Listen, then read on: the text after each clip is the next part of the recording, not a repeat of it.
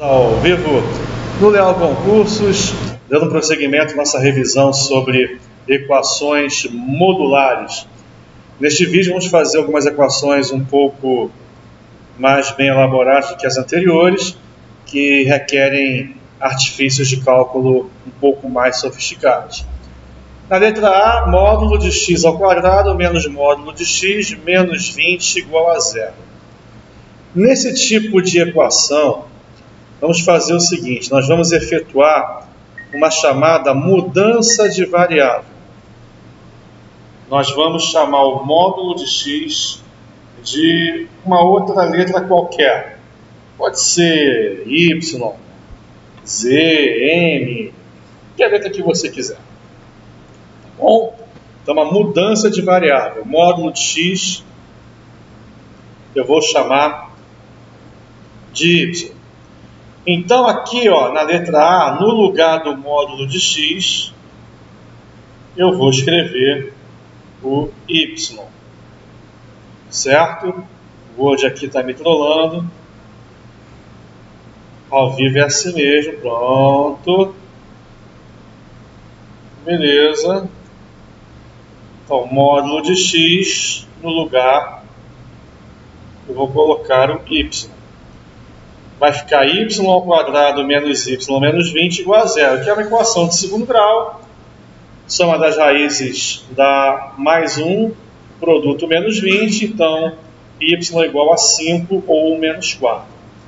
Bem, só que o y, na verdade, é quem? É o módulo de x, não é isso? Então, o módulo de x ou é 5 ou o menos 4. Aí nós vamos recair nas equações do primeiro grupo, dos vídeos anteriores. Módulo de x igual a 5, x é o próprio 5 ou o oposto dele, né? o menos 5. E módulo de x igual a menos 4, não há x real que satisfaça essa equação, né? já que o módulo, por definição, é sempre maior ou igual a zero. O módulo nunca é negativo, beleza? Eu vou pular a letra B por enquanto, vou fazer a letra C, que é idêntica à letra A, chamando de novo o módulo de x de y. Vai ficar y ao quadrado menos 3y mais 2 igual a zero. y ao quadrado menos 3y mais 2 igual a zero. Soma das raízes é mais, mais 3, produto das raízes mais 2 então, y é igual a 1 ou 2. Módulo de x, que é o y, pode ser 1 ou pode ser o 2. Se for 1, x é igual ao próprio 1 ou menos 1. Se for o 2, x igual ao próprio 2 ou o menos 2. Correto? Beleza? Então, esse tipo de equação modular tranquilo. Já caiu uma ou outra vez na EAR, na ESA nunca caiu, pode ser que esse ano caia. Agora, a letra B é um pouquinho diferente. Por quê? Porque na letra B, repare, o módulo só apareceu uma vez. O x ao quadrado não está em módulo. Só o x que está entre as barrinhas do módulo. Então, nesse tipo de equação, nós não vamos trocar o módulo de x por y. Nós vamos separar, digamos assim, a resolução em dois casos, em duas partes. Primeiro, eu vou supor o x um número real maior ou igual a zero. Se o x for um número real maior ou igual a zero, o módulo de x vai ser o próprio x. Não é verdade? Por exemplo, 5. 5 é maior, maior ou igual a zero. O módulo do 5 é o próprio 5. O 11. 11 é maior ou igual a zero. O módulo do 11 é o próprio 11. Então, se o x for maior ou igual a zero, eu vou trocar aqui na equação original o módulo do x pelo próprio x. Aí vamos ter x ao quadrado mais 3x menos 4 igual a zero, equação de segundo grau, Soma das raízes menos 3, produto menos 4, x é igual a menos 4 ou 1. Por que eu falei que o menos 4 não convém? Por quê? Porque nós supusemos que o x é maior ou igual a zero. Aqui, ó, nós supusemos x maior ou igual a zero. Então, menos 4 não vai satisfazer essa condição. Só 1. Beleza? Agora, eu vou supor o x negativo. Eu vou supor o x menor que zero.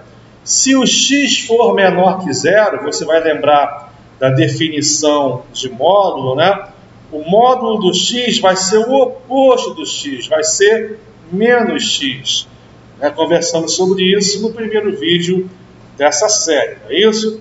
Então, se agora o módulo de x é menos x, eu vou na equação original trocar o módulo de x por menos x. Vai ficar 3 vezes menos x, ou seja, menos 3x. x ao quadrado menos 3x menos 4 igual a zero. Soma das raízes é mais 3, o produto menos 4, x igual a 4 ou menos 1. Agora, quem não convém é o 4. O 4 não convém. Por quê? Porque nesse momento nós supusemos o x ser um número negativo, né? Agora o 4 não interessa para nós, somente o menos 1. Sendo assim, a solução na letra B é o menos 1 e o 1. Bonita, né? Esse tipo de equação modular, sinceramente, eu não me recordo de já ter caído uh, na ESA ou na EA. Provavelmente se caiu foi uma vez só. Tá? Na ESA com certeza não, na EA talvez se caiu foi uma vez só. Tá? É um pouquinho mais difícil. Beleza? Então, quando houver módulo em tudo, digamos assim, aí basta você trocar o módulo por y. Se houver módulo em só um lugar, digamos assim, você tem que supor primeiro x maior ou igual a zero, aí você vai trocar o módulo de x pelo próprio x, depois supor x menor que zero e trocar o módulo de x por menos x, tá? E verificar se as soluções que irão surgir irão ou não satisfazer as condições estabelecidas. Show de bola? Bonito isso aí, né? Bonito. Próximo vídeo, mais questões para vocês. Leal Concursos incomparável.